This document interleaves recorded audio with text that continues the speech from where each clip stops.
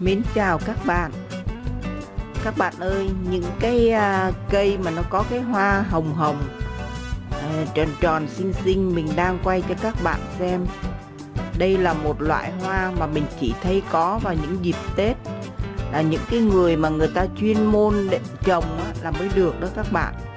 Và những cái hình ảnh mình đang ghi hình lại để chia sẻ cho các bạn xem đây là ở công viên 23 tháng 9 đó mà mình thấy chỉ có hai hàng là bán loại hoa này thôi. Và loại cái hàng kia thì ít cây lắm. Mà mình thấy ở đây có một hàng này cũng khá khá cây nè. Và cái loại hoa này nó có tên là mãn đình hồng. Vì loại hoa này chắc có lẽ là cũng khó trồng á.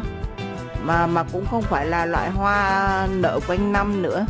Cho nên mình chỉ thấy vào những cái ngày ờ, cận cận Tết á thì ở những cái chợ hoa lớn như là ở Sài Gòn thì mình mới thấy ha. còn uh, như mấy chợ nhỏ là mình cũng không thấy bán hoa này mấy đâu các bạn khi mình xem ở trên mạng á, thì mình thấy là cái loại hoa này nó cũng có khoảng mấy màu sắc á. nhưng mà ở Việt Nam mình thì mình chỉ thấy nó có hình như đây là hai màu hay sao là màu hồng lạt lạt và màu hồng đậm đậm hay sao các bạn bữa nay ờ, mình đi ờ, chợ Tết ở công viên 23 tháng 9 ở Sài Gòn á. Cái mình thấy rồi mình ghi hình lại để chia sẻ cho các bạn cùng xem. Rất hiếm hoi, chỉ có vào dịp Tết mới có thôi các bạn.